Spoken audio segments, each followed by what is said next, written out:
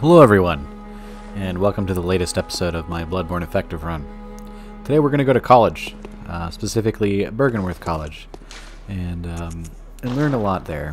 Now, uh, Byrgenwerth, um, I think, was an area that was a casualty of running out of time. There's a lot of hints in the area that there was supposed to be a lot more to do in Byrgenwerth, and um, Instead, we got a very short level. I think you'll notice how short this video is.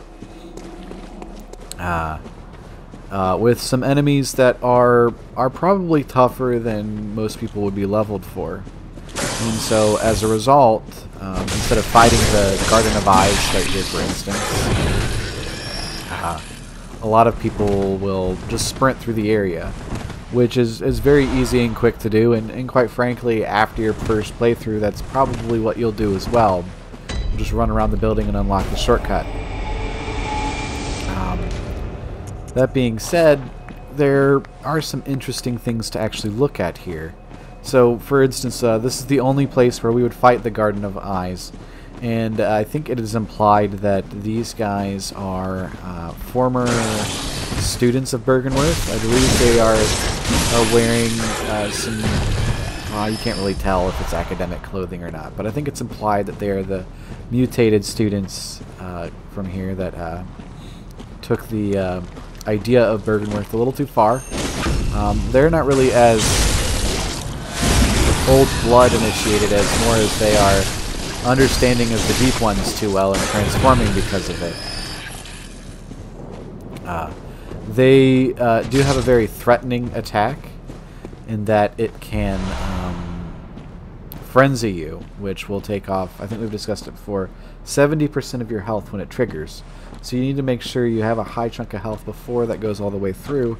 And if you're not spending your insight kind of like I'm not, um, it's uh, being frenzied is, is quite a threat. Uh, having more insight lowers your your meter uh, to uh, take frenzy damage before it actually kicks. So, um, and then we do have one of these brain suckers. Unfortunately, I do not get the uh, fight right here, but we do get to see uh, what their attack is and what their effect on it is. They get out their brain-sucking tool, suck your brain out. Uh, and how this affects is it takes a good chunk of your HP, like any grab attack would,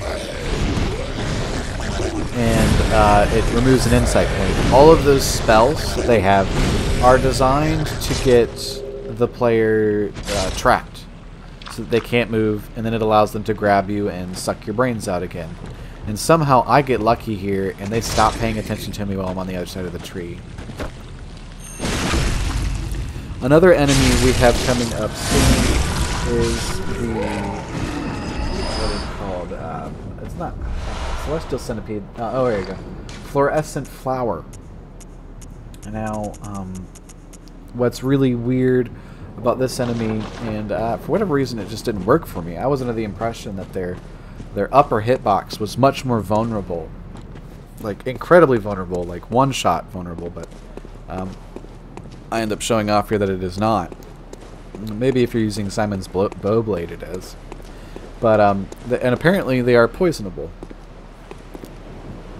But um, you'll see it in the distance making its way over here. Um, it is actually an illusion created by a small flower. Uh, the I think the flower might be alive, and it, well, of course, the flower's alive, but it it is not your tradition. It is much more of a Venus flytrap situation than it is a uh,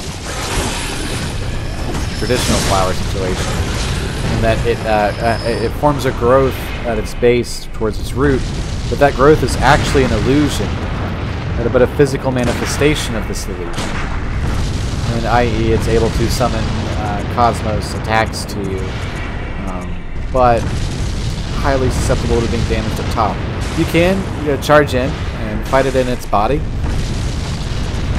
Um, it's actually a lot easier than you think it would be, but I was trying to show off that it was weak in the uh, in the flower bit itself, and two throwing knives to poison is pretty nothing to scoff at. So definitely, its resistances are not as strong when you um, hit it directly on there.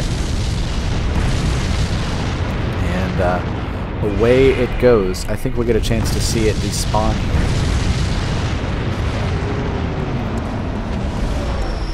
Now, a lot of people actually use the fluorescent flower as a means to um, just get into the boss fight uh, without doing the rest of Byrgenwerth. Not that there's much to it, but it's it's it's a speedrunning strat. Um, unless you are speedrunning, I uh, it's really hard to do. It involves a lot of save quitting, and it's really not worth the payoff. And uh, these guys kind of break my rule as being the basic enemy around here. Instead of taking two hits from the R1L1 combo, they take three.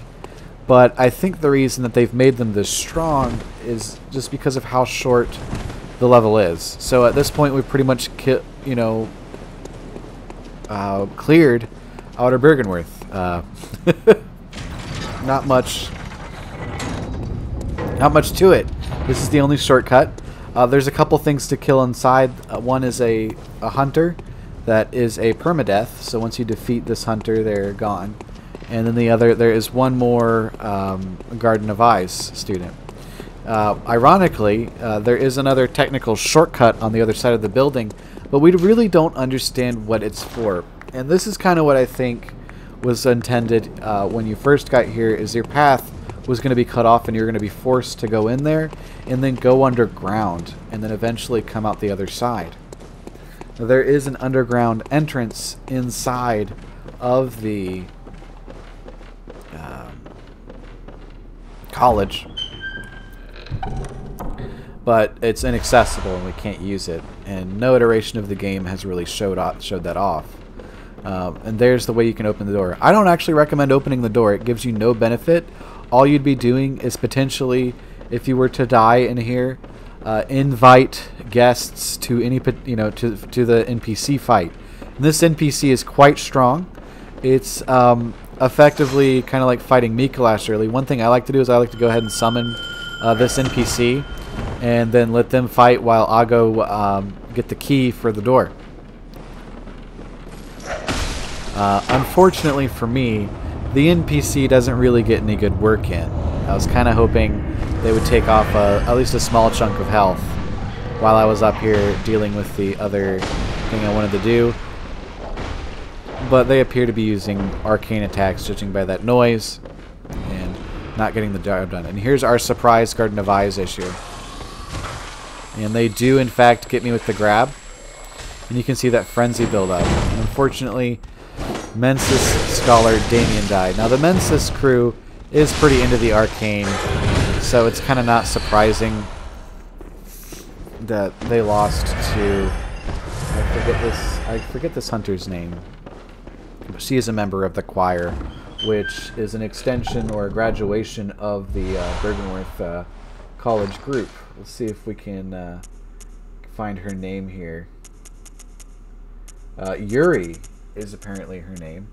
She wields a threaded cane and a Rosmarinus, which is the basically like spray gun that's kind of like the flamethrower, except it shoots just arcane uh, dust at you.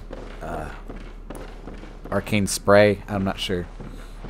So, it's a little bit more mysterious. And she can also cast this ability, which is a Call Beyond. Not something we have access to yet. Pretty cool spell, though. As you can see, she is quite strong. But she does flinch. Um, but so I really don't recommend giving her a lot of space.